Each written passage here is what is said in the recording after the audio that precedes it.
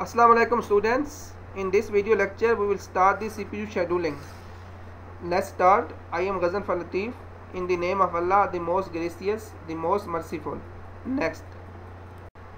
This is the outline of this lecture.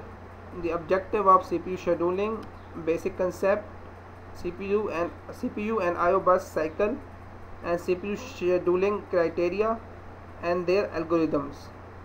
Next. First, uh, first uh, the objective of CPU scheduling. To introduce CPU scheduling, which is basis for multi-program operating system. It means कि this is the concept of multi-programming system. Mean जैसा कि नाम से ज़ाहिर है how to schedule the C P U between various processor using C P U scheduling algorithm further हम इसको देखेंगे, इसके, इसको डिस्क्राइब करेंगे डिफरेंट एल्गोरिदम देखेंगे इसके। To describe various C P U scheduling algorithm to discuss evaluation criteria for selecting a C P U selecting algorithm for a particular system means कि एक पार्टिकुलर सिस्टम के लिए कि कौन सा एल्गोरिदम सूटेबल है। प्रोसेस को एग्जीक्यूट करने के लिए मीन्स सी पी यू को एलोकेट करने के लिए कौन सा एल्गोरिदम ज़्यादा सूटेबल है, वो भी इन क्राइटेरिया के अकॉर्डेंस देखेंगे। जो सीपीयू शेड्यूलिंग क्राइटेरिया उसके मुताबिक। Next the basic concept of CPU scheduling basic concept इसका ये है कि आपका जो सीपीयू है, वो मैक्सिमम यूटिलाइज हो रहा हो। मीन मल्टी प्रोग्रामिंग का जो कंसेप्ट है। मतलब मल्टीपल प्रोग्राम जो एग्जीक्यूट हो रहे हैं, इसका मतलब है कि आपका सी पी यू क्या है? हर वक्त बिज़ी रहेगा। मैक्सिमाइज यूज़ होगा। जिसका जो कि एल्गोरिदम के लिए एफिशिएंट है। Maximum CPU utilization obtain with multi programming CPU I O burst cycle process execution consist of cycle of CPU execution and I O wait मतलब मीन्स के प्रोसेस की जो एग्जीक्यूशन है, वो कंसिस्ट करती है किस पे? कि सीपीयू के एग्जीक्यूशन पे। मीन्स एक प्रोसेस जो एग्जीक्यूट हो रहा हो, अगर मेरे एक प्रोसेस स्टार्ट हो गया एग्जीक्यूट हो है तो उसको सीपीयू एलोकेट हो गया तो इसको मतलब वो किस फ़ेज़ में है? सीपीयू बस्ट फ़ेज़ में है। मीन अगर कोई आयो रिक्वेस्ट आती है, कोई प्रिंटर की उसे रिक्वेस्ट आती है प्रोसेस को तो आपका प्रोसेस कहाँ चला जाता है? आयो वेट के अंदर। तो इसको कहते हैं CPU I O burst cycle next CPU and IO bus cycle. The process during execution undergoes two phases, like CPU bus and IO bus. Means कि जो प्रोसेस की एग्जीक्यूशन होती है, वो दो फ़ेज़ में होती है CPU बस में और IO बस में. first is CPU burst phase when a CPU allocates to the process for execution and they, they will be executed this state is known as CPU burst phase जैसे कि स्लाइड में भी लिखा हुआ है when a process allocate CPU and resources and is executed then then this is known as CPU burst while other is IO burst phase when a process wants to some input output operation like printer or scanner to complete the task this is known as IO burst phase when a process waits for some input operation or some other task to complete it this is known as IO burst phase of process mean एक process execute हो रहा होता है execution के दौरान उसे कोई input output operation की ज़रूरत पड़ती है मीन कोई स्कैनर की ज़रूरत होती है रिक्वायरमेंट होती है कोई प्रिंटर की रिक्वायरमेंट होती है तो जैसे भी रिसोर्स उसको मिल जाते हैं तो फिर उसके बाद वो दोबारा C P U burst phase में आ जाते हैं। तो जब वो वेट कर रहा होता है आई ऑपरेशन का तो वो किस फ़ेज़ में होता है? आई बस फ़ेज़ में होता है। This is called C P U burst and I burst cycle the execution of process consist of an iteration of C P U burst and I burst mean की प्रोसेस की execution जो है, वो consist करती है C P U burst और आई बस की आइट्रेशन पे। मीन कि सम टाइम वो सी पी यू बस में होता है प्रोसेस जब एग्जीक्यूशन फ़ेज़ में होगा। जब वेट वेटिंग फ़ेज़ में होगा तो उसको वो आयो बस फ़ेज़ में होगा। This is the iteration of the executing process okay a process begins and with a C P U burst in between C P U activity is suspended whenever I O operation needed और C P U की जो activity है C P U से process को मिला हुआ होता है, वो कब सस्पेंड होता है उसकी एक्टिविटी जब ऑपरेशन की उसे ज़रूरत होती है प्रोसेस को। तो फिर CPU की जो सी पी यू फेल होता है, जो सी पी यू से मिला होता है, वो उससे सस्पेंड होता है और वो किसमें जाता है? वेटिंग फेल में चला जाता है।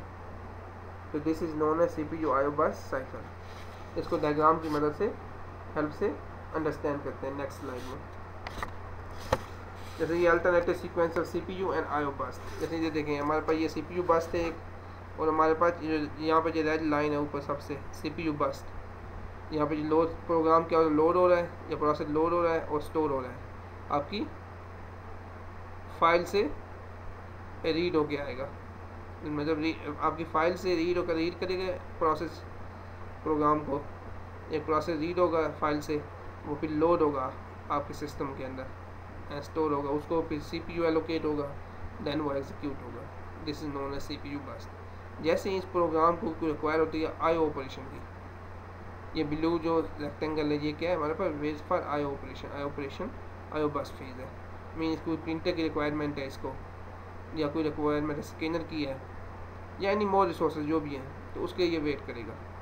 जैसे ही उसे मिल जाएगा, वो दोबारा फिर C P U burst phase में आ जाएगा। फिर वो उस रिक्वायरमेंट को स्टोर करेगा इंक्रीमेंट करेगा इंडेक्स लाइट टू फ़ाइल वहाँ से फिर रीड करके दोबारा लोड होके यू बस फ़ेज़ में आएगा। जैसे दोबारा उसे फिर रिक्वायरमेंट होगी आयो बस मतलब आयो रिक्वेस्ट की इनपुट आउटपुट की, फिर कोई रिक्वायरमेंट होगी तो फिर दोबारा आयो बस फ़ेज़ में आ जाएगा। वेट करेगा, जैसे उसे मिलेगा, वो दोबारा फिर लोड होगा। इस तरह ये साइकिल एग्जीक्यूट होता रहेगा, चलता रहेगा। तो this is known as C P U burst I O burst cycle okay next slide C P U scheduler C P U becomes idle the operating system must select one of the process in the ready queue to be executed it mean जब कोई C P U free होता है तो operating system एक process को select करता है आपके रेडी क्यू में से मीन्स कि आपकी मेमोरी में से, आपके सिस्टम की मेमोरी में से ताकि उस प्रोसेस को एग्जीक्यूट किया जा सके। Okay the selection process is carried carried by the carried out by the short term scheduler और ये प्रोसेस कैरी होता है शॉर्ट टर्म शेड्यूल शेड्यूलर के थ्रू और इसको सी पी यू शेड्यूलर भी कहते हैं। This scheduler selects from among the processes in memory that are ready to be executed and allocate the CPU to one of the them, to one of them. ये scheduler जिस C P U scheduler है, ये select करता है एक process को different process से, जो कि आपके रेडी क्यू में होते हैं एग्जीक्यूशन के लिए उसको सिलेक्ट करता है और उसको हर प्रोसेस को एलोकेट करता है सीपीयू हर प्रोसेस को। Okay this is called CPU scheduler जैसे कि वर्ड बाय वर्ड भी यहाँ लिखा हुआ है select from among the process in ready queue and allocate the CPU to one of them queues may be order in various ways अब CPU scheduling का मकसद क्या है? The aim of the CPU scheduling The aim of CPU scheduling is to make the system efficient, fast and reliable. से आपका system क्या होता है? फास्ट और एफिशिएंट होता है। रिलायबल होता है। और सीपीयू शेड्यूलिंग में दो वेज आते हैं। एक प्रिमिटिव केस होता है और एक हमारे पास नॉन प्रिमिटिव होता है। CPU scheduling consist contains two ways preemptive and non preemptive CPU scheduling decision may take place when a process switches from running to waiting state switches from running to ready state switches from waiting to ready and terminates ये चार step हैं जो primitive और non primitive में आते हैं means one और fourth step जो है वो किसमें आता है नॉन प्रिमिटिव में और टू एंड थ्री जो आता है वो किसमें आता है प्रिमिटिव में आता है प्रिमिटिव शेड्यूलिंग एल्गोरिदम में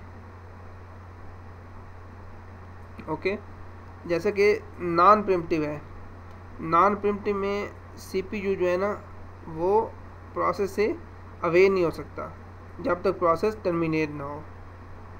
मीन्स के C P U can not away from the process until the termination this is call non preemptive while the preemptive scheduling algorithm the CPU can away from the process whenever another higher priority process come. Means कोई, जब कभी कोई और एक execution sorry जब कोई एक process execute हो रहा होता है ड्यूरिंग एग्जीक्यूशन कोई और प्रोसेस आ जाए, उसकी प्रायोरिटी ज़्यादा हो, उसकी कास्ट कम हो तो प्रोसेस जो सीपीयू है, वो उस जो रनिंग प्रोसेस है, उससे मतलब आइडल हो जाता है, उसे ले लिया जाता है और जो रनिंग प्रोसेस में जो दूसरा प्रोसेस आ जाता है पी टू हायर प्रायोरिटी का प्रोसेस होता है तो उसको वो सी दे दिया जाता है और वो प्रोसेस एग्जीक्यूट होता है। तो इस केस को कहते हैं preemptive case mean running to ready state में या वेटिंग टू रेडी ये प्रिमटिव केस के हैं। जैसे are other scheduling is preemptive consider access to share data consider preemption while in kernel mode अब आपका ये शेड्यूलिंग एल्गोरिथम अगर प्रमशन केस में है प्रिमटिव में है तो इसका मतलब वो कर्नल मोड में होता है। Consider interrupts occurring during crucial operating system activities next हम देखते हैं dispatcher dispatcher another component involve in the C P U scheduling function is dispatcher the dispatcher is the module that gives control of the CPU to process selected by the short term scheduler means कि short term scheduler से जो process select हुए हैं उसके CPU को control करता है dispatcher the function of dispatcher involve या this function involve switching context switching to user mode jumping to the proper location in the user program to restart that program mean ये तीन इसकी functionality हैं dispatcher की। Dispatcher should be as fast as possible given that it is invoked during every process switch. यानी कि हर switching में के बाद डिस्पैचर को फास्ट बनाया जा सकता है। Okay the time taken by dispatcher to stop one process and start another process is known as dispatch latency okay dispatch latency क्या है? जो टाइम डिस्पैचर के थ्रू दिया जाता है टू स्टॉप वन प्रोसेस एक प्रोसेस को स्टॉप करने के लिए और स्टार्ट करने के लिए दूसरे प्रोसेस को। तो उसको कहते हैं डिस्पैच लेटेंसी तो the explanation of dispatch latency is present in figure the diagram जो figure explain in next slide dispatch latency students ये देखें, ये डायग्राम है डिस्पैच लेटेंसी की। The time taken by dispatcher to stop one process and start another process means देखें, ये यहाँ से इसका टाइम स्टार्ट हो रहा है। यहाँ से ये देखें प्रोसेस क्रिएट हुआ है स्टार्ट हुआ है, यहाँ प्रोसेस मेड अवेलेबल और यहाँ पे प्रोसेस स्टॉप हो रहा है। जहाँ रियल टाइम प्रोसेस एग्जीक्यूशन हो रही है ना, यहाँ पे इसका टाइम स्टॉप हो रहा है। जो इसके दरमियान जो टाइम है, ये इसका किसका है? डिस्पैच लेटेंसी है। ये डिस्पैच लेटेंसी रिप्रेजेंट लिखा भी हुआ है। जो कंप्लीट जो टाइम है, एक इवेंट से रिस्पांस टू इवेंट तक, ये रिस्पांस इंटरवल है। और यहाँ पे इंटरप्ट प्रोसेसिंग है। कोई इंटरप्ट आता है, यहाँ पे इंटरप्ट प्रोसेसिंग हो रही है इंटरप्ट की। या कोई कन्फ्लिक्ट आ जाता है, कोई और प्रोसेस आता है, एक जैसा। तो वहाँ कन्फ्लिक्ट आ सकता है। डिस्पैच और यू तो टोटल इसको कहते हैं टाइम से रिप्रेजेंट करेंगे।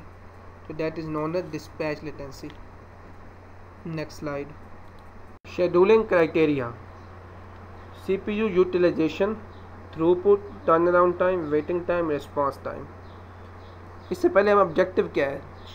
Scheduling C P U scheduling का objective how to manage the different process. Means how to schedule the CPU between various process. Objective के बाद देखते हैं शेड्यूलिंग क्राइटेरिया मीन इस क्राइटेरिया के बेस के कौन सा एल्गोरिदम बेहतर है, उसको सिलेक्ट करें सीपीयू को शेड्यूल करने के लिए। तो सीपीयू यूटिलाइजेशन जैसा कि हम देखते हैं कि हमारा जो सीपीयू शेड्यूलिंग है, वो बेस करता है मल्टी प्रोग्राम ऑपरेटिंग सिस्टम पे। मींस के मल्टी अगर मल्टीपल प्रोग्राम एग्जीक्यूट हो रहे हैं। तो इसका ये मतलब है कि आपका सीपीयू भी उतना ज़्यादा बिज़ी रहेगा। मतलब सी यूटिलाइजेशन ज़्यादा हो रही होती है। जितने प्रोग्राम ज़्यादा एग्जीक्यूट होंगे, आपका सी भी एलो एलोकेट हो रहा होता है हर वक्त, बिज़ी होता है प्रोसेसिंग कर रहा होता है। तो सी पी यूटिलाइजेशन मैक्सिमम होती है। इसका ये मतलब है keep the C P U as busy busy as possible keep the C P U as busy as possible तो सी पी यूटिलाइजेशन मैक्सिमाइज होगा तो ड्यू टू द मैक्सिमम तो you algorithm is best efficient other is criteria क्या है? Other criteria, throughput number of process number of jobs that complete their execution per unit time. Means कि एक time में या एक सेकंड में कितने नंबर ऑफ़ प्रोसेस एग्जीक्यूट हो चुकी हैं? तो this is known as throughput जितने ज़्यादा प्रोसेस एग्जीक्यूट हो चुके होंगे तो इसका मतलब है इस एल्गोरिदम से बहुत ज़्यादा प्रोसेस एग्जीक्यूट हो सकते हैं तो you algorithm will be efficient तो थ्रूपुट भी अब क्या होना चाहिए मैक्सिमम होना चाहिए. Turn around time amount of time to execute a particular process means एक पार्टिकुलर प्रोसेस को एग्जीक्यूट होने के लिए कितना टाइम रिक्वायर है। मीन्स एक प्रोसेस एग्जीक्यूट होने के जितना कम टाइम रिक्वायर होगा, उतना एफिशिएंट होगा आपका एल्गोरिदम तो इसका ये ये मतलब है कि आपका टर्न अराउंड टाइम भी मिनिमम होना चाहिए फॉर ऑप्टिमाइजेशन के लिए। Fourth one waiting time amount of time a process has been waiting in ready queue means कि आपकी मेमोरी के अंदर जो प्रोसेस है, वो कितनी देर के लिए वेट कर रहे हैं? फॉर एलोकेशन मतलब रेडी क्यू के अंदर। जितना कम टाइम होगा वेटिंग का, उतना एफिशिएंट होगा एल्गोरिथम तो इसका ये मतलब है कि वेटिंग टाइम भी क्या हो? मिनिमम हो. Minimum waiting time to optimize the algorithm fifth one and last one response time amount of time it takes from when a request was submitted until the first response is produced, not output, for time sharing environment. Means जब एक sender है, वो request भेजता है, वहाँ से ये time start होता है और जब तक फ़र्स्ट रिस्पांस नहीं आ जाता तो उध वहाँ तक ये रिस्पांस टाइम होता है। मीन्स कि आपका एक सेंडर है, वो मल्टीपल रिसीवर है और एक सेंडर ने मल्टीपल रिसीवर को रिक्वेस्ट भेजी है। तो जब तक एक, कोई भी एक रिसीवर आइदर रिसीवर फ़र्स्ट पहले पहले रिस्पांस नहीं भेज सकता। तो उस रिस्पांस तक और रिक्वेस्ट तक जो टाइम होगा, वो आपका रिस्पांस टाइम होगा। मीन कि आपका रिस्पांस टाइम भी मिनिमम होना चाहिए। जितना जल्दी यानी कि आपको रिस्पांस मिलेगा, उतना एफिशिएंट एल्गोरिदम होगा ये। Okay this is the criteria of scheduling algorithm next slide how to optimize the scheduling algorithm using criteria? Means कि जैसे मैंने पहले बता चुका हूँ कि आपका सी पी यूटिलाइजेशन क्या हो? मैक्सिमम हो। Maximum C P utilization throughput maximum turn around time minimum and waiting time minimum and response time भी मिनिमम हो। तो this is the criteria for optimization okay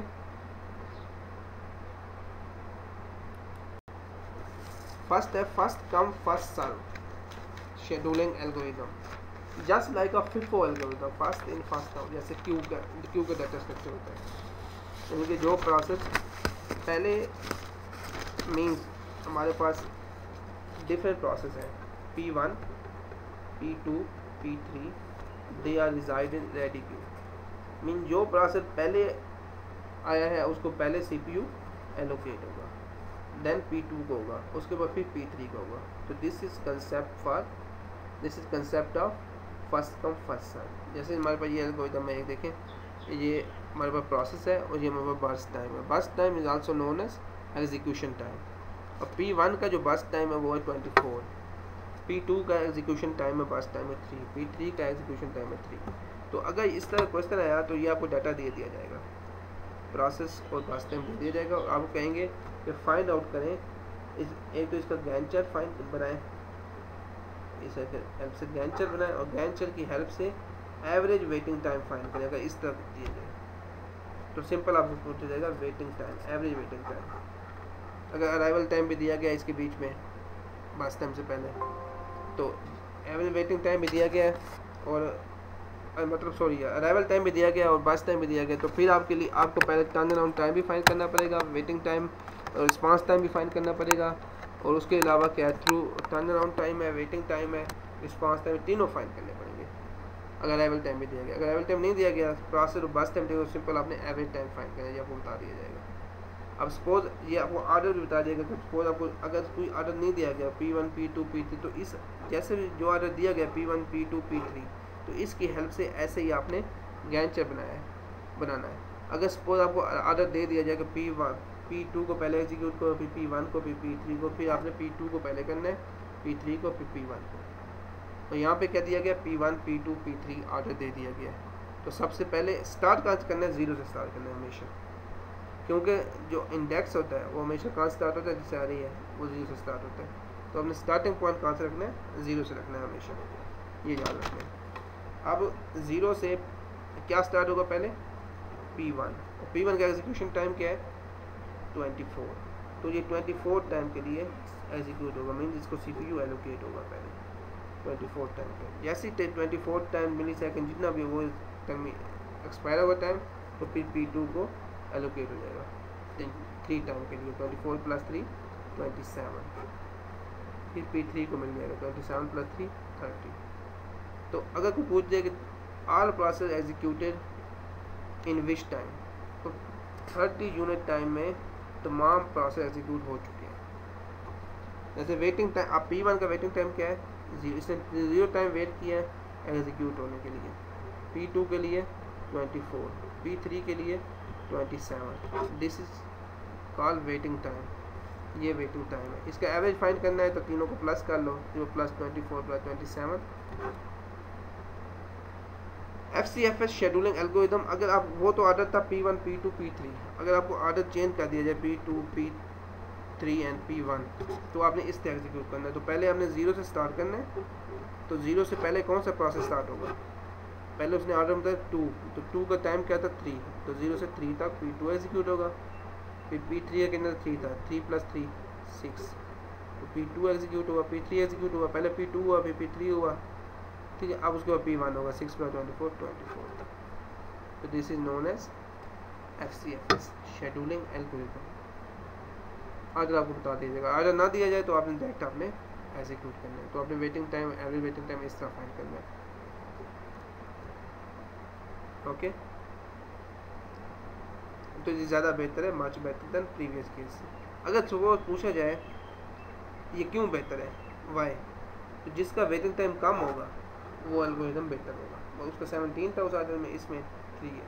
तो आपका ये वाला, इस आर्डर से आपका बेटर है प्रीवियस केस से much better than previous case तो उसका वेटिंग टाइम क्या है? वेटिंग टाइम कम है। ओके नेक्स्ट एल्गोरिदम देखते हैं। S J F shortage job first scheduling algorithm associate with each process the length of its next CPU burst use these length to schedule the process with the shortest time इसमें ये देखना है कि how to schedule the process और how to schedule the CPU between various process. कि different हमारे पास process हैं P1, P2, P3 और किस प्रोसेस को पहले सी पी यू एलोकेट होगा और वो कौन सा प्रोसेस पहले एग्जीक्यूट होगा। तो जिस प्रोसेस का टाइम सबसे कम होगा वो पहले एग्जीक्यूट होगा। जैसे ये use this length to schedule the process with respect to minimum time तो this concept will be use in shortest job first shortest job first may be primitive और non primitive the primitive S G F is also known as S R T F जो आगे जाके देखेंगे।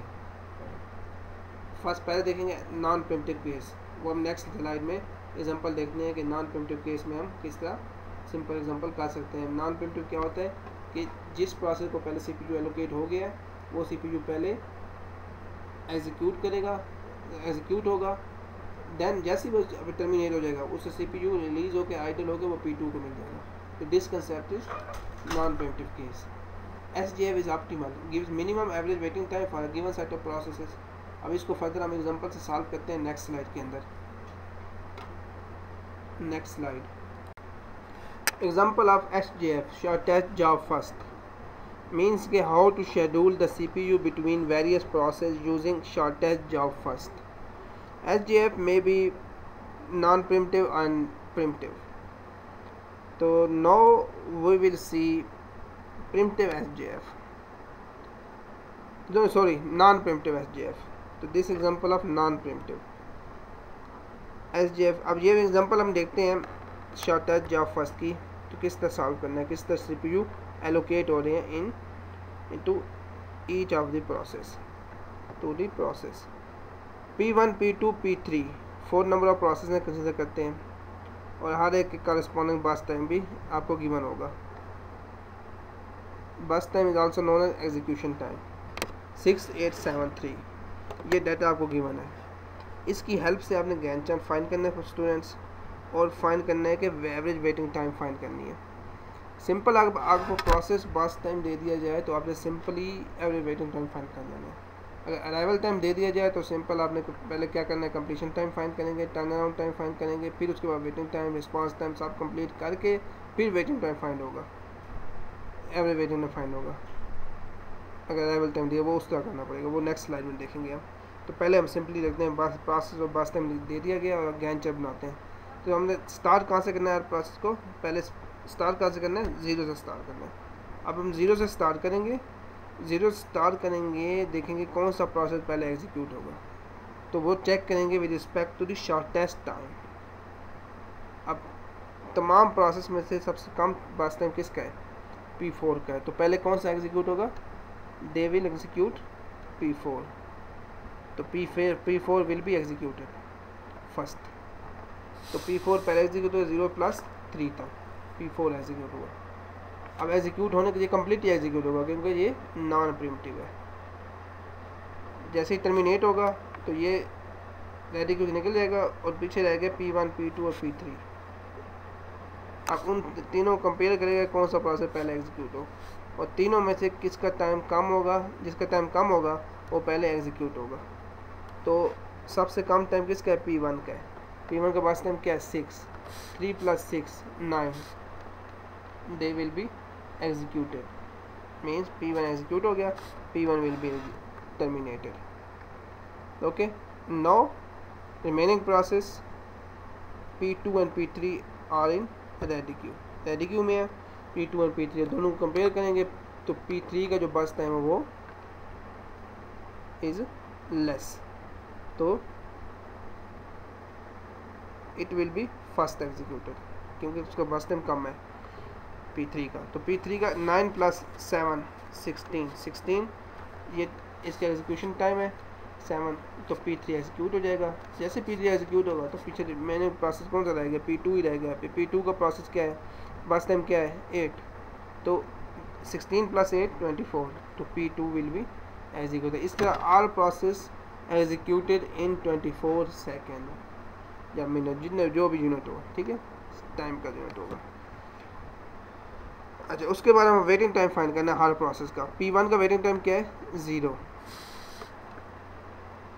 P one नहीं sorry यार P one का waiting time है three P two का वेटिंग टाइम है सिक्सटीन पी थ्री का वेटिंग टाइम है नाइन पी फोर का वेटिंग टाइम है four according to this algorithm तो इसको प्लस करके डिवाइड कर लेंगे फोर पे. Should always be equal to seven seven is a waiting time of this algorithm of this scenario okay ये हमारा हो गया नॉन प्रिमिटिव केस अब हम देखेंगे प्रिमिटिव एस डी एफ़ और S R T F in next slide example of shortest remaining time first pronounce करते हैं एस आर टी एफ़ से. और प्रिमटिव एस डी एफ़ दोनों सेम नेम है इसके. Now we add the concept of varying arrival times and preemption to analysis तो इसका analyse analysis करेंगे प्रिमिटिव केस के थ्रू अराइवल टाइम को ऐड करके। मीन्स प्रोसेस हमारे पास कंसिडर करते हैं फोर है। P one P two P three P four arrival time दे दिया जाएगा zero one two three burst time given होगा एट फोर नाइन फाइव यह वो गिवन होगा। इसकी हेल्प से आपने फाइंड करना है बच्चों। Completion time turn around time waiting time and response time वो कैसे फाइंड करेंगे? पहले आप गैन चार्ट बनाएँगे। गैन चार्ट के थ्रू, या गैन चार्ट नीचे जो चार्ट बना हुआ है। तो इसकी हेल्प से आप completion time turn around time waiting time response time find करेंगे और इनके फार्मूलाज भी आपको गिवन है। टर्न अराउंड टाइम का भी गिवन है वेटिंग टाइम रिस्पॉन्स टाइम सब फार्मूले आपको गिवन है। तो स्टार्ट कर करना है ज़ीरो से। अब ज़ीरो पर चेक करेंगे कि पी वन जो है वो अराइव हो चुका है रेडी क्यू के अंदर। ये जो गैंड चप है, ये आपकी रनिंग क्यू है। तो रेडी क्यू एक और रफ रफ वर्क में बना रहे हैं रेडी क्यू इसी तरह गैंड चप बना रहे वो आपकी रेडी क्यू होगी। पी वन पी वन आपका अराइव हो चुका है। कहाँ पे? रेडी क्यू में। तो कोई और प्रोसेस रेडी क्यू में नहीं है अभी? तो पहले हम एग्जीक्यूट करेंगे पी वन को। ज़ीरो से। ठीक है तो जब ज़ीरो से स्टार्ट होगा ज़ीरो से वन का जैसे ही वन पे पहुँचेगा पी वन तो वन पे चेक करेगा कोई और प्रोसेस नहीं आ गया। आ गया पी टू भी अलाइव हो चुका है रेडी क्यू में। अब यहाँ पे क्या करना है कि बस टाइम पी वन का कितना रह गया? एट माइनस वन सेवन तो पी टू पी टू भी आ चुका है। अब पी टू और पी वन को, दोनों को कंपेयर होगा किसका बस टाइम कम है। तो पी टू का बस टाइम कम है फोर तो वो सेवन अभी रहता है। तो पी टू पहले एग्जीक्यूट होगा। तो P P two will get executed तो इज़ एग्जीक्यूट तो पी टू जैसे ही टू पे पहुंचेगा यहाँ पे वन क्या टू पे पहुंचेगा तो इसका रिमेनिंग टाइम क्या रहेगा? फोर माइनस वन थ्री तो थ्री पे देखिए कोई जैसे टू पे पहुंचेगा सॉरी तो पी थ्री भी आपका अराइव हो चुका है। पी थ्री भी टू पे अराइव हो चुका है। तो अब है पी वन पी टू और पी थ्री तीनों रेडी क्यू के है। अब तीनों को कंपेयर करेगा। इसका बस टाइम एक तो एग्जीक्यूट हो चुका था four minus one three three रह गया था। अब ये कितना था? नाइन नाइन थ्री और सेवन किसका टाइम सबसे कम है? पी टू का। दोबारा पी टू एग्जीक्यूट होगा। जैसे ही थ्री पे पहुंचेगा टू से थ्री पे पी टू तो पी फोर भी आपका रेडी क्यू में आ जाएगा। अब चारों प्रोसेस रेडी क्यू में आ चुके हैं। अब ये इस, इसका फो इसका कितना रह गया? पी टू का टू रह गया। थ्री माइनस वन टू रह गया था। अब टू इसका रह गया। उसके बाद इसका seven two and nine and five चारों को कंपेयर करेंगे कि इसका टाइम सबसे कम है पी टू का। कोई और प्रोसेस नहीं है? पी टू को डायरेक्ट भी हम इस तरह एग्जीक्यूट कर सकते हैं। यानी कि टू है तो थ्री प्लस टू फाइव तो इसका मतलब पी टू को डायरेक्ट भी कर सकते हैं one plus four execution time five तक भी कर सकते हैं वन बाई वन भी कर सकते हैं, इस तरह भी कर सकते हैं। ओके इस तरह पी टू आपका सक्सेसफुली एग्जीक्यूट हो जाएगा।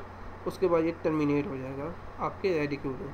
अब अब रेडी क्यू में पी वन पी थ्री और पी फोर है। पी वन का बस टाइम क्या है? सेवन थ्री का नाइन एंड फाइव और पी पी फोर का क्या है? फाइव सबसे कम किसका बस टाइम है? पी फोर का. तो पहले पी फोर एग्जीक्यूट होगा. इसको कोई और प्रोसेस नहीं है ना? इसको वन पर वन करने की ज़रूरत नहीं है डायरेक्ट चलाते हैं. Five plus five five execution time है. पी फोर टेन तक एग्जीक्यूट होगा. टर्मिनेट हो जाएगा. उसके बाद पी वन और पी थ्री रह गया. अब पी थ्री अब कौन सा एग्जीक्यूट पहले होगा? पी वन पहले होगा. इसका सेवन है. उसका पी थ्री का नाइन है बस टाइम तो पी वन पहले होगा तो इसको और तो कोई प्रोसेस नहीं है पी फाइव पी सिक्स आदत सारे कंप्लीट उसके अंदर है, पहले रेडी क्यू के अंदर। तो पी वन पहले एग्जीक्यूट होगा टेन प्लस सेवन सेवनटीन तक। तो उसके बाद पी वन भी एक टर्मिनेट हो जाएगा, फिर पी थ्री रह जाएगा। Seventeen plus nine twenty six इस तरह ट्वेंटी सिक्स पे all process can be successfully executed all process successfully executed at twenty six okay अब इस तरह हमने क्या फाइंड करना है? कंप्लीशन टाइम फाइंड करना है टर्न अराउंड टाइम फाइंड करना है वेटिंग टाइम फाइंड करना है एंड रिस्पांस टाइम फाइंड करना है. ओके बच्चों? तो चलो ठीक. इसके बाद हम करेंगे कंप्लीशन टाइम पहले फाइन करते हैं. कंप्लीशन टाइम कैसे फाइन होगा? कि पी वन ने कब कंप्लीट हुआ है? सेवनटीन पे कंप्लीट हुआ आखिर में देखो कब कंप्लीट हुआ है पी वन लास्ट पे? सेवनटीन सेवनटीन सॉरी है कंप्लीशन टाइम कब हाँ सेवनटीन पे होगा ठीक है. सेवनटीन में कंप्लीट हो गया. और पी टू कब हुआ है? फाइव पे। पी थ्री ट्वेंटी सिक्स पे। पी फोर टेन सेकेंड पे कंप्लीट हुआ ये इसका कंप्लीशन टाइम फाइंड हो गया। अब टर्न अराउंड टाइम कैसे फाइंड करना है? Completion time minus arrival time जब वो ये फार्मूला आपको यहाँ पे गिवन नहीं लगे पेपर में गिवन नहीं होगा, आपको याद रखना होगा। माइंड में रखना होगा ये फार्मूला तो seventeen minus zero seventeen completion time minus arrival time होता है। Five minus one four P two का turn around time twenty six minus two twenty four P three का turn around time ten minus three turn around time of P four seven तो this is the call turn around time जो भी calculate हो गया। अब इसका waiting time find करना है। जब टर्न अराउंड टाइम फाइन हो जाएगा तो उससे टर्न वेटिंग टाइम फाइन कर लेंगे। टर्न अराउंड टाइम में से बस टाइम एग्जीक्यूट सब्ट्रैक्ट होगा सॉरी टर्न अराउंड टाइम में से बस टाइम सब्ट्रैक्ट होगा, जिससे आपको वेटिंग टाइम फाइन हो जाएगा। बस टाइम ओरिजिनल वाला, जो रिमेनिंग वाला है वो नहीं। ओके, अब seventeen minus eight not seven seventeen minus eight nine four minus four zero is the waiting time twenty four minus nine fifteen waiting time seven minus five two that is waiting time response time कैसे find करना है? First response minus arrival time P one पहले दफ़ा कब response किया था? पहले दफ़ा उसने। ज़ीरो पे, zero minus arrival time zero P one का, ज़ीरो।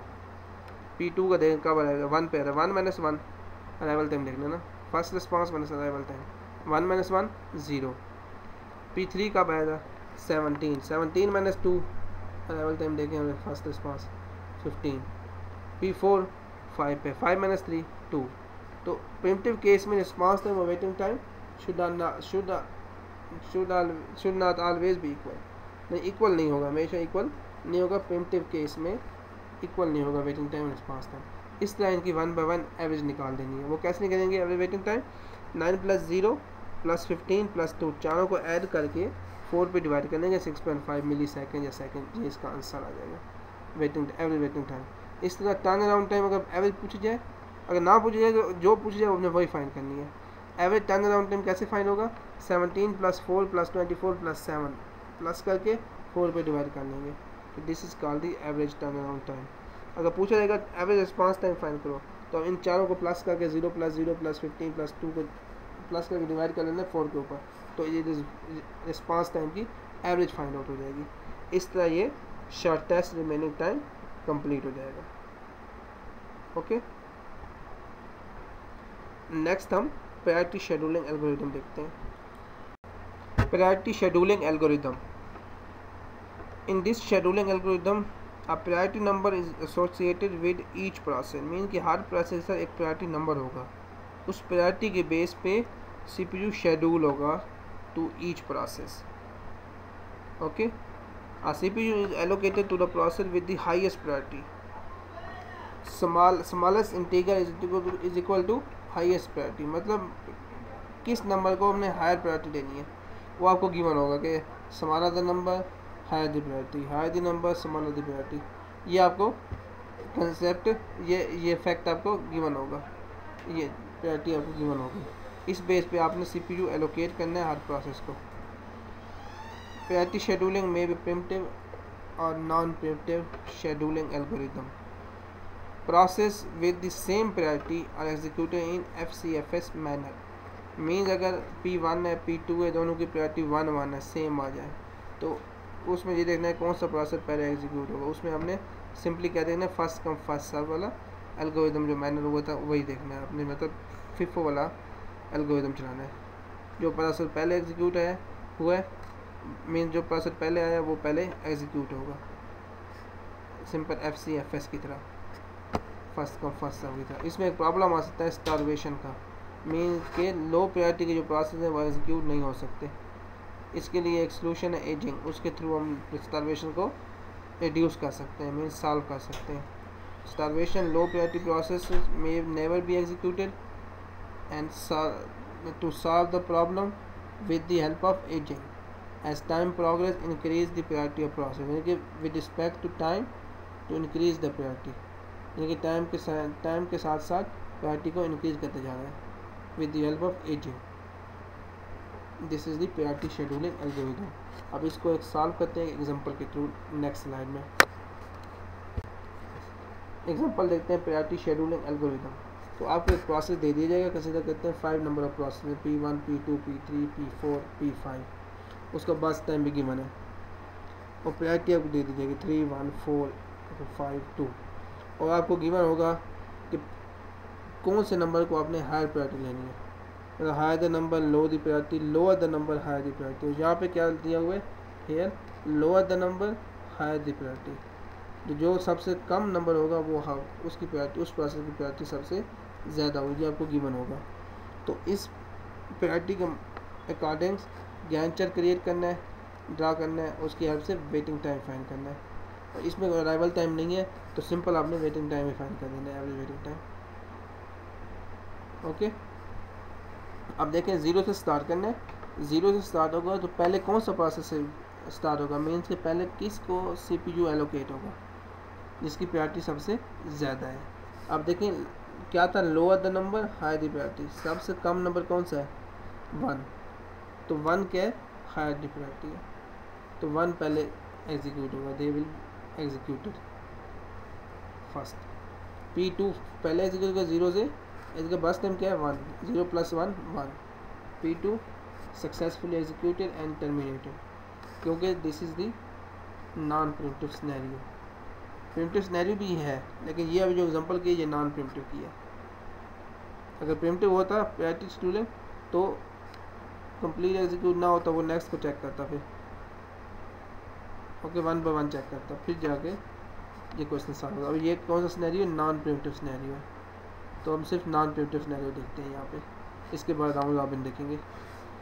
अब ज़ीरो प्लस वन वन अब वन उसके बाद कौन सा प्रोसेस उसके बाद वन के बाद सेकेंड नंबर पर किसकी प्रायोरिटी ज़्यादा है?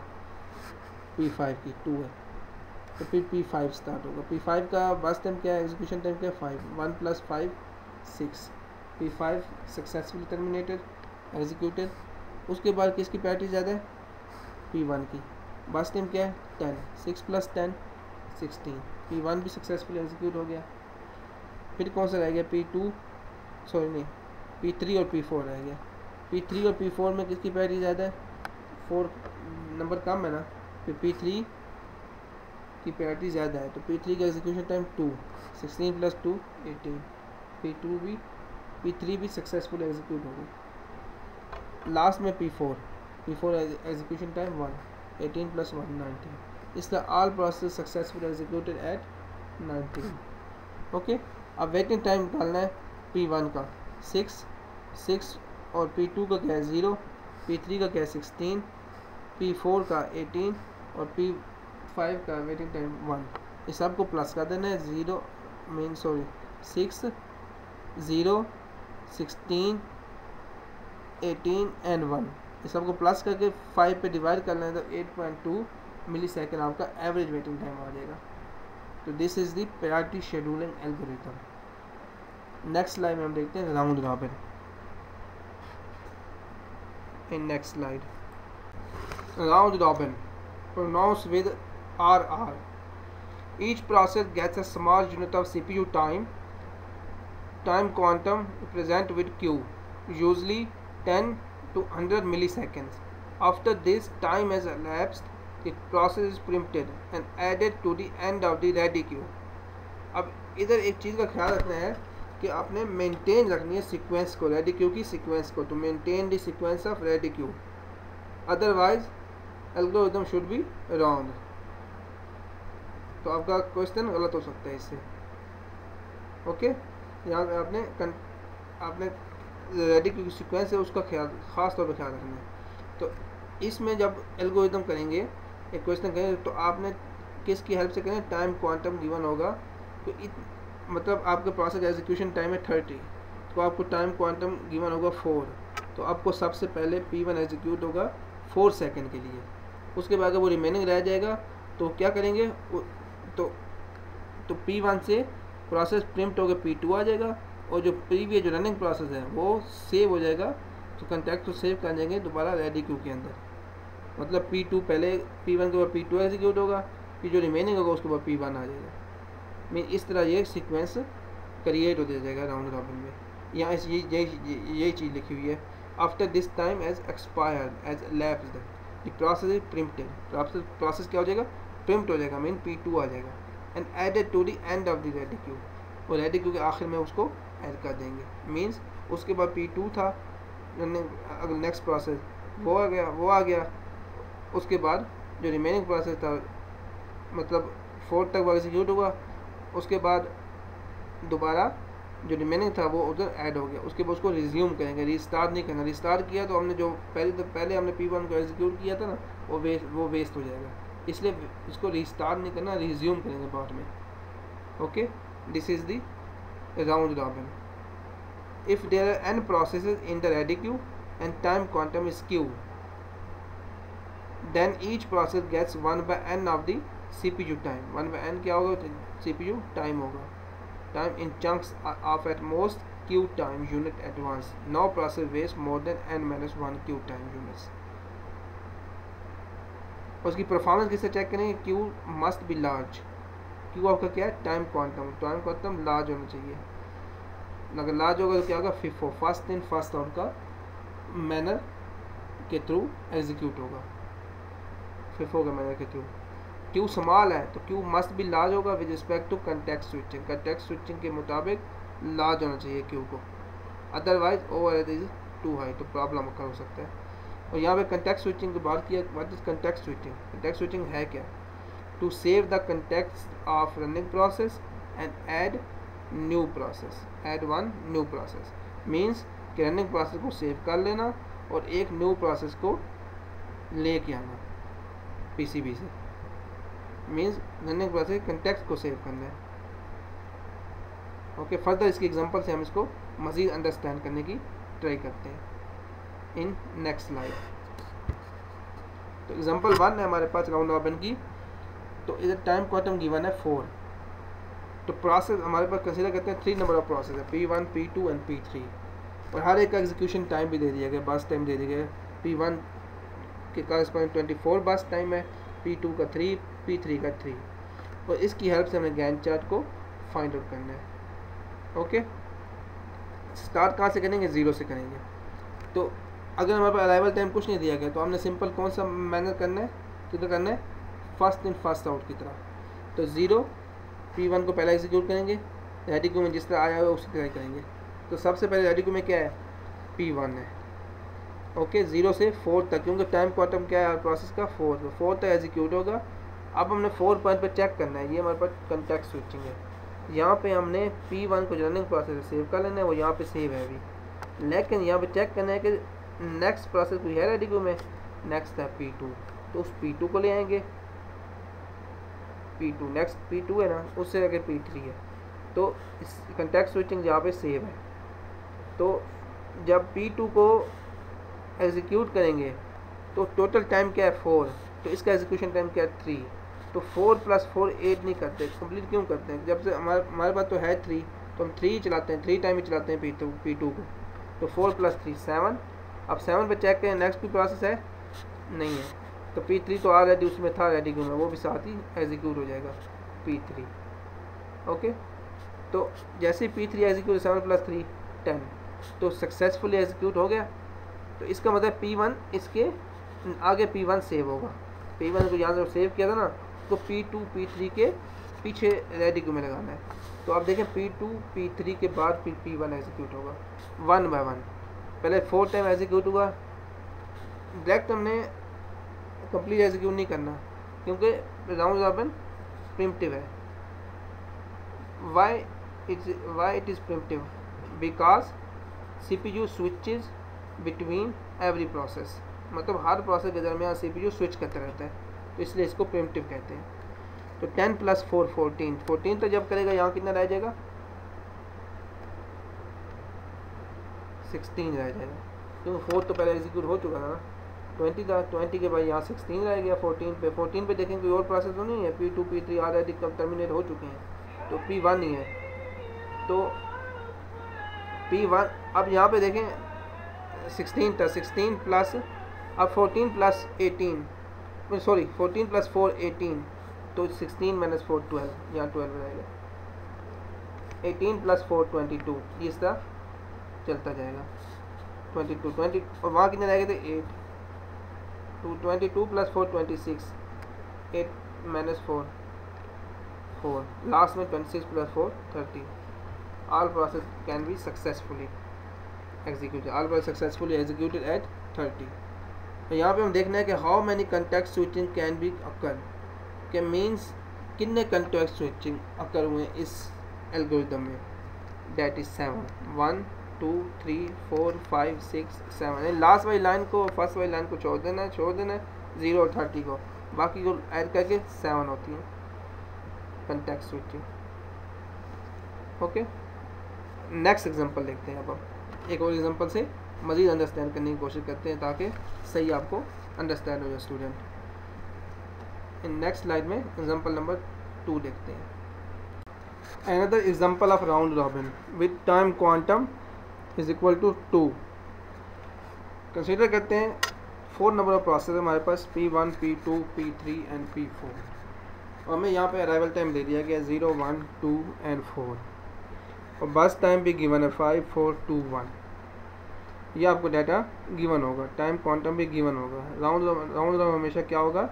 Should always be primitive case क्योंकि हर प्रोसेस पे सीपीयू क्या हो रहा है स्विच हो रहा है। इसलिए ये क्या होता है? प्रिमटिव तो इसमें हमने एक चीज़ का ख्याल रखना है कि आपने रे, अपनी रेडी क्यू को मेंटेन रखना है। रेडी क्यू के सीक्वेंस को मेंटेन रखना है। Otherwise question will be incorrect question will be wrong question गलत हो सकता है आपका। विल बी फॉल्स ओके तो रेडी क्यू को मेंटेन रखना है। सबसे पहले हमने स्टार्ट करना है ज़ीरो से। ओके अब ज़ीरो पे चेक करेंगे। हमारे पास प्रोसेस कहाँ पे आया? पी वन रेडी क्यू में। अब ज़ीरो पे चेक करें process P one ready queue में अराइव हो चुका है। देखें अराइवल टाइम क्या है? ज़ीरो तो पी वन रेडी क्यू में आ गया। यहाँ से पी वन से रेडी क्यू रेडी क्यू से पी वन को निकालो। रनिंग क्यू में लाओ। रनिंग क्यू और Gantt chart will be same P one running queue में आया। और कितनी टाइम के लिए एग्जीक्यूट होगा? टाइम क्वांटम के two zero plus two two time के लिए एग्जीक्यूट हुआ। ओके जब टू टाइम के लिए एग्जीक्यूट होगा अब इस टाइम इस इस प्लेस पे यहाँ पे टू टू पे पहुँच चुका है। टू प्लेस पे मतलब टू पे चेक करना है कि कोई और प्रोसेस अराइव हुआ है। और उस प्रोसेस को क्या करना है? रेडी को में लाना है। और जब अराइव हुआ है, वो रेडी को में कौन कौन प्रोसेस रेडी को में आ चुका है अराइव हो चुका है, वो देखना है। और जो रनिंग क्यूब रनिंग प्रोसेस है, इसको प्रिंट करके रेडी क्यू में सेव करना है दोबारा। इसके कंटेक्स को मतलब रनिंग प्रोसेस को लोड करो और न्यू प्रोसेस को लाओ ओके न्यू प्रोसेस को कॉल करो। ये देखो पी वन टू टाइम के लिए एग्जीक्यूट हो चुका था। अब टू पे पी देखें पी टू भी ऑलरेडी रेडी क्यू में आ चुका है। देखिए, वन पे आया था। ये कहीं ना कहीं आ चुका है देखें पी टू भी रेडी क्यू में आ चुका है और पी थ्री भी आ चुका है। P two P three arrive हो चुके हैं और इसके पीछे पी वन को भी सेव कर लो लोड कर लो रनिंग प्रोसेस को रेडी क्यू में। अब सीक्वेंस क्या बनी है? P two P three and P one क्योंकि पी वन कितने रिमेनिंग रह गए थे। टू टाइम एग्जीक्यूट हो एग्जीक्यूट हो चुका था। फाइव माइनस टू थ्री तो अब इसका बर्स्ट टाइम कितना रह चुका है? रिमेनिंग थ्री तो अब चेक करो दोबारा। अब पी टू को एग्जीक्यूट करना है। नेक्स्ट कौन सा आएगा? पी टू आएगा। तो इसके बाद रेडी क्यू में कौन सा पी टू तो वो एग्जीक्यूट होगा, उसको वहाँ रेडी क्यू से निकालो रनिंग क्यू में, या गैन चार में लेके आते हैं। तो कितने टाइम के लिए एग्जीक्यूट होगा? टू टाइम के लिए। टाइम को आइटम टू है। टू प्लस टू फोर अब फोर पर चेक करो कि और प्रोसेस अराइव हो चुका है? यस अराइव हो चुका है। तो फोर पे देखो, कौन सा प्रोसेस अराइव हुआ है? P four P four P one के आगे अराइव हो चुके हैं। ओके? अब जब ये अराइव हो जाएगा पी फोर फोर पे, अब इसके बाद एग्जीक्यूट कौन सा प्रोसेस है? रेडी क्यू में पी टू तो हो चुका है। पी थ्री अभी एक रेडी क्यू में ऑलरेडी है। तो पी थ्री पहले आएगा। उसको पी थ्री यहाँ से निकालो। पी टू के बाद एग्जीक्यूट होगा। Four plus two six time के लिए। लेकिन पी टू कितना रह गया था? टू रह गया था। और पी थ्री जब एग्जीक्यूट होगा तो उसका बस टाइम कितना है? टू तो सिंपल तो टू सक्सेसफुली एग्जीक्यूटेड तो ज़ीरो रिमेनिंग रैम रहते करेंगे पी थ्री यहाँ से टर्मिनेट हो जाएगा। Two plus two two minus two zero burst time total time question two था और टोटली एक ही दफ़ा ये, एक ही टाइम में एग्जीक्यूट सक्सेसफुली हो चुका है। फोर प्लस टू सिक्स अब पी थ्री यहाँ से टर्मिनेट हो गया है। अब उसके बाद क्या है? पी वन अब देखें सिक्स पे भी और प्रोसेस है। और कोई प्रोसेस नहीं है। वो जो जो सीक्वेंस बनी हुई है, इसी सीक्वेंस से आपने इसको एग्जीक्यूट कर लेना है। सिक्स प्लस टू एट मतलब इसके आगे पी वन एग्जीक्यूट होगा टू देंगे थ्री जब टू टाइम एग्जीक्यूट होगा तो three minus two one one time तो रिमेनिंग रह गया, क्योंकि टाइम खत्म टू है। तो अब इसका कहना है वन अभी भी रिमेनिंग रहता है। तो पी वन लास्ट में ऐड कर लो। पी वन यहाँ से निकाल के इधर आ गया। रेडी क्यू से रनिंग क्यू में। लेकिन अभी भी रिमेनिंग रहता है तो उसको लोड कर लो रेडी क्यू में पी टू के पीछे। पी फोर पी टू तो ऑलरेडी उसमें है तो उसके पीछे पी वन को भी सेव कर लो रेडी क्यू के अंदर। तो इसके बाद एट पे पी पी फोर का एग्जीक्यूट करते हैं। पी फोर का एग्जीक्यूशन टाइम कितना है? वन ही है। तो इसको टू टाइम क्या करना है हमने? तो हमने सिंपल एक टाइम ही करेंगे eight plus one nine nine तक किया और यहाँ से पी फोर भी टर्मिनेट हो गया। ओके अब अब देखें रेडी क्यू में पी टू और पी वन ही है। अब पी टू के कितने हैं? दो बस टाइम है। तो इसको भी एक ही दफ़ा एग्जीक्यूट कर लेंगे टाइम क्वार्टर में टू है नाइन प्लस टू अलेवन इस तरह ज़ीरो ये भी टर्मिनेट हो जाएगा। अब लास्ट में क्या रह गया? पी वन रह गया। वो, उसका मैंने बस टाइम क्या था? वन तो eleven plus one two twelve eleven plus one twelve P one P one भी सक्सेसफुली एग्जीक्यूट हो गया। अब इस तरह हमारे all process successfully execute eight twelve अब हमने क्या करना है? इसका कंप्लीशन टाइम फाइंड करना है टर्न अराउंड टाइम फाइंड करना है वेटिंग टाइम फाइंड करना है रिस्पॉन्स टाइम फाइंड करना है। यहाँ पे आपने रेडी क्योंकि सीक्वेंस को लाजमी ख्याल रखना है। माइंड में रखना है। अगर ये सीक्वेंस ख़राब हो गई तो इसका मतलब आपका क्वेश्चन फॉल्स हो जाएगा, गलत हो जाएगा। ओके अब देखें completion time P one last में कब कंप्लीट हुआ है? ट्वेल्व पे। पी टू कब हुआ है फोर सॉरी पी टू हुआ है अलेवन पे कंप्लीट हुआ है पी थ्री कब कंप्लीट हुआ है सिक्स पे। और पी फोर कब कंप्लीट हुआ है नाइन पे। ट्वेल्व अलेवन सिक्स नाइन ये इसकी कम्प्लीशन टाइम है। इससे टर्न अराउंड टाइम कब कंप्लीट हुए? सॉरी टर्न अराउंड टाइम कैसे फाइंड होगा? Completion time minus arrival time twelve minus zero twelve eleven minus one ten six minus two four nine minus four five इस, ये सारे formula आपको मैंने पिछले प्रीवियस स्लाइड में बता चुका हूँ, पिछले एल्गोरिदम एस जी एफ़ में। तो आप वहाँ से ये फार्मूलाज वगैरह देख लीजिएगा स्टूडेंट्स इसका वेटिंग टाइम कैसे फाइंड होगा? Turn around time minus burst time लेकिन यहाँ पे एक चीज़ माइंड में रखनी है, ध्यान करना है कि ओरिजिनल वाला बस टाइम ये मैंने बोला नहीं फाइव जो है। Twelve minus five seven ten minus four six four minus two two five minus one four waiting time अब रिस्पॉन्स टाइम कैसे फाइन होगा? C P U first time minus arrival time जो पहले दफ़ा प्रोसेस को C P U कब मिला? देखें पी वन ज़ीरो पे आया अराइव सी पी यू पहले मिला और अराइव अराइव अराइव कब हुआ था? रेडी में? ज़ीरो पे अराइव हुआ था। तो zero minus zero zero P two कब मिला था C P U P two कब सी पी यू मिला था पहली दफ़ा? टू पे। Two minus one one P three को फोर पे मिला था। Four minus two two P four को एट में मिला था। Eight minus four four that is response time इस तरह अगर आपने इसे एवरेज फाइंड करनी है average turn around time average waiting time तो आपने इसको सबको प्लस कर देना है जैसे ऑल प्रोसेस को sum of the process over number of the process seven six two average waiting time find करना है seven six two four plus करके फोर पे डिवाइड कर लें। That is four point seven five millisecond that is your average waiting time okay इस तरह average turn around time find हो जाएगी। इन, इसको प्लस कर देंगे। ट्वेल्व टेन फोर फाइव को प्लस करके फोर पे डिवाइड कर लें तो इसकी एवरेज फाइंड हो जाएगी। इस तरह आप सॉल्व कर सकते हैं। तो this is the round robin example with time quantum two इस तरह ये आपका कंप्लीट हुआ। अब नेक्स्ट स्लाइड हम देखते हैं। कंटेक्ट स्विचिंग और टाइम क्वांटम में क्या डिफरेंस है। लास्ट स्लाइड है इस चैप्टर की।